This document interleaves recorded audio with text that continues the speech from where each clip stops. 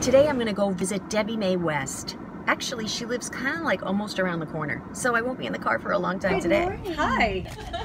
This uh, is was an attic, and these are ship stairs leading to where all the magic happens. well, not all the magic, but the voiceover magic.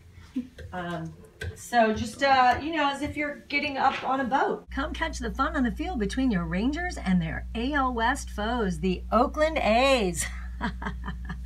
Dollar Dogs. And be sure to bring your appetite because it's a Texas Chili Company Dollar Dog Hot Dog Night. There's nothing like Rangers baseball and dollar hot dogs. So get to Globe Life Park and get ready for a fun filled night. Find your tickets at texasrangers.com. so I would say that the niche in voiceover that I've that I've been engulfed in for many many years is promo and trailer. Uh, there a lot of women don't actually their voices don't make it to the trailer, but they do often give us the opportunity at least to audition for them. Uh, but promos, I, I started out many years ago. Uh, I had sent out like 5,000 CDs when CDs were still a thing. And uh, HGTV got in touch with me and they asked me to get an ISDN home studio, which I did. And so for seven years, I was the voice of HGTV. And because of building that home studio at the time and having ISDN capabilities, um, it just led to more and more promo. And, and then I just, you know, promo is the quickest job, you know, it can take five seconds or, you know, a, a couple minutes. Um, but you do have to be readily available more so than any other gig in voiceover. And, um, and I love, I love in that, in the genre, within the genre of promo, sports promos, because I've got that husky, raspy voice, so it's very sporty sounding. So I, I I've done a lot of stuff for NFL Network over the years and ESPN and NBC Sports and the Olympic Channel. And so sports is kind of my, my niche within the niche, if you will.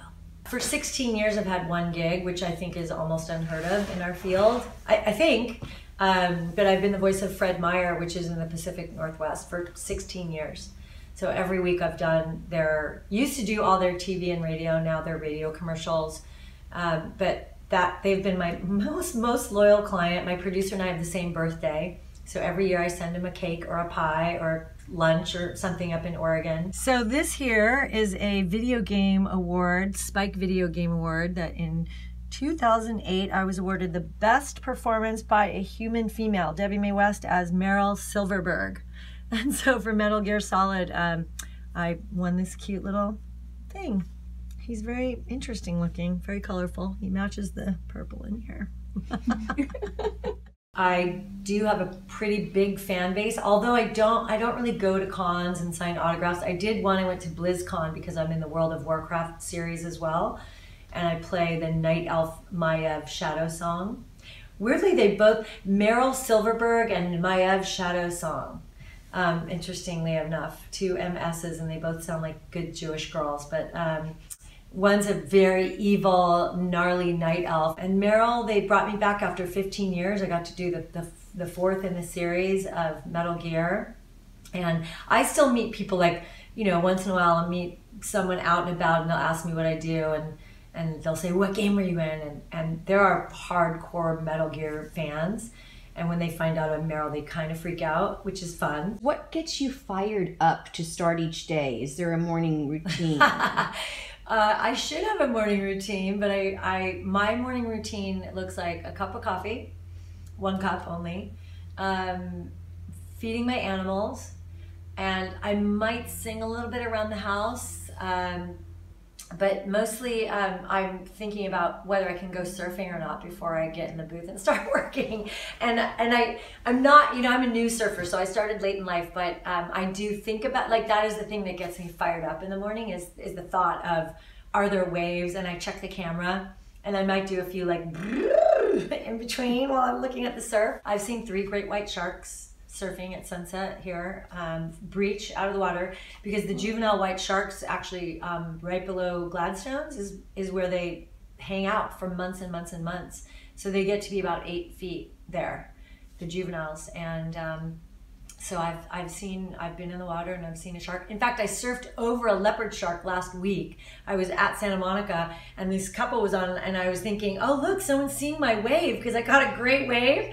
And I looked down and I saw this thing go right under me and I was like, "That's a shark." And they were just their mouths were open and, it, and apparently they're leopard sharks, but they don't bite.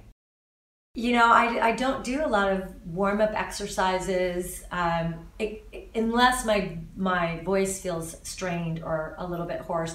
I have a very weak voice, and I do if I if I'm having too much fun or if I'm in a loud place talking to people, like at a party of some sort or at a bar or restaurant, and I'm talking for several hours, my voice gets strained. So in those mornings, I might have to have a lozenge, you know, in my mouth just to get a little moisture going.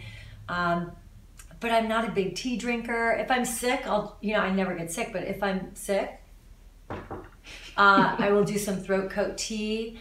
Um, I, I have been known to take singing lessons here and there. And uh, when I, I did, you know, I had my vocal injury, I had to do voiceover lessons at that point for a while, uh, or singing lessons. But that's about it. Have you had a voiceover job that changed your life? Yes, indeed. When I started out, I was a singer. I wanted to be a rock star. That was my dream. And um, in my early 20s, I became a very um, religious Buddhist. And for 25 years of my life, I was a very hardcore Buddhist in a, in a large world peace organization. And, um, and I was very devoted, and I had a lot of struggles with my voice. And so because I was a perfectionist at music, I, I wasn't going to sing unless I was a great, amazing singer. So I stopped singing and uh, I, well, I was in a, while I was still in a band, um, Pamela Segall used to come and hear my band and I would always ask her, you know, how do you, how do you get into that voiceover thing? Cause she was doing voiceovers at the time and she was also an actor. I'd seen her in some films and she said, "Oh, it's so hard. There's, you know, it's a small niche group of people. This is back in the '90s, and um, and then somehow I found my way into the field. I had an agent. I wasn't really booking yet. I was really I was trying, but my first big job was actually doing her voice on 101 Dalmatians cartoon series, and I played Lucky. And she got pregnant and left. It wasn't she didn't get fired or anything, and she uh, but she left the show so she could have a kid, and I matched her voice, and and that really you know, threw me into the world of animation at that time. Actually, in the same day, I booked a Ford National commercial, television commercial, one with the talking dogs, and I booked that series both in the same day. So I was shopping in Nordstrom's and I got this call from, you know, Celia Siegel.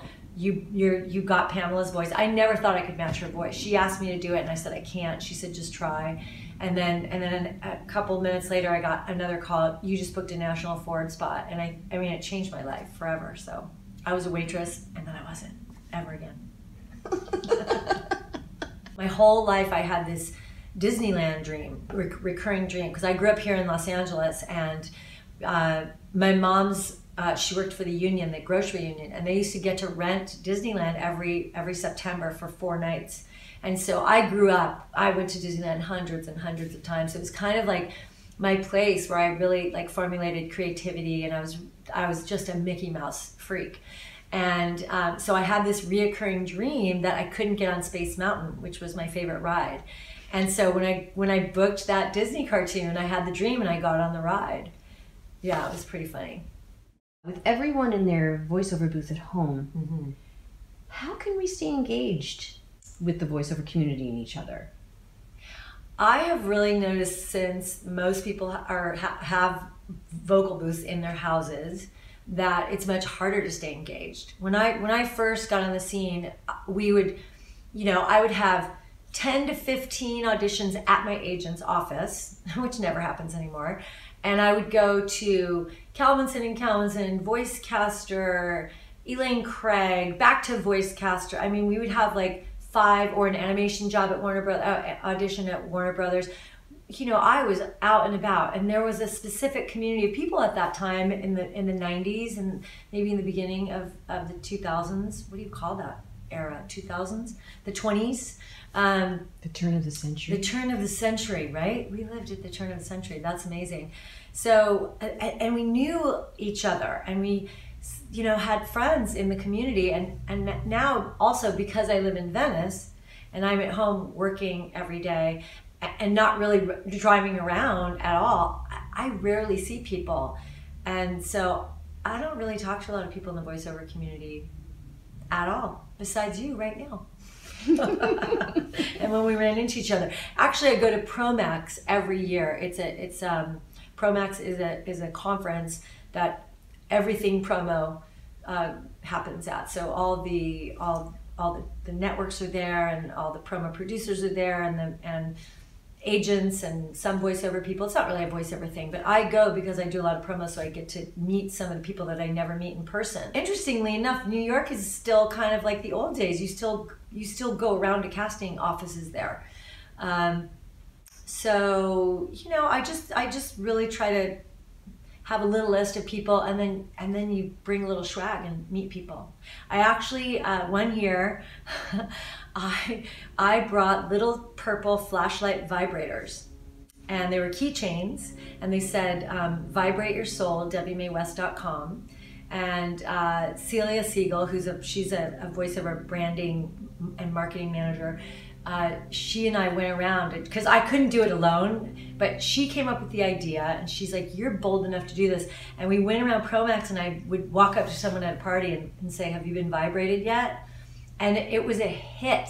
And people the next year saw, sought me out and said, Do you have any more of those cool vibrators? And they were really funny. They were little flashlights, but they vibrated and it was a it was a little gimmick and it, it got me a lot of work actually trying to figure out what gimmick I'll do this year because I don't I'm not that bold any longer in my in my older age to bring a, a vibrator. You might know my voice if you live here in Los Angeles or if you're a fan of KCRW. I was on a show called a series called um, Joe Frank the Other Side and I told I told private stories about my, my personal life to him and he edited them and I was really good friends with Joe Frank and he would record our television our, our, our telephone conversations. And I mostly you know spoke to him like almost like a girlfriend and I was talking about relationships because he would take real life stories and edit them together and um, and then write his own pieces and he had edit this one hour uh, radio hour, you know, people used to sit sit and listen to the radio, and he kind of kept that genre going. And he had some pretty racy stories of mine on there, um, very revealing. And he he just passed away a couple of months ago, very very sadly. Um, but I I feel like that getting having that opportunity to use my voice in that way was really really special and and um, he does have a, a huge fan base, and so I'm, I'm really proud that I got to be part of that series.